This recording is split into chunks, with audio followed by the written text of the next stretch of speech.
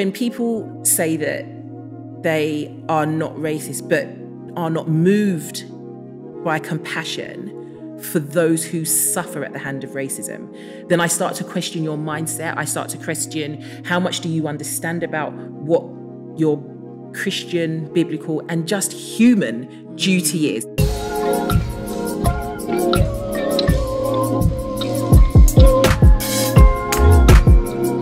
Yes, the world is complex, but the instruction God gave us, Jesus gave us, was very, very simple. Mm. It's not a mystery. Your duty as somebody who is a follower and a believer of Christ and a believer of God is not just to disagree with racism, mm-hmm. but it's to actively oppose right, it right, and right, to actively set those who are oppressed free. It's your actual duty.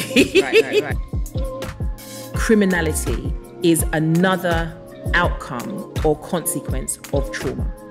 I agree. And particularly with children.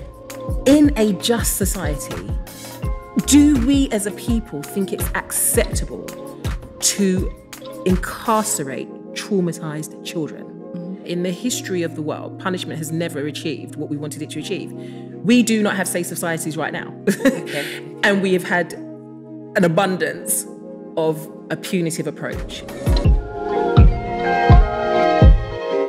Hating somebody or judging someone based on external, if you like, characteristics or mm. religion, that's prejudice, and everybody's capable of that.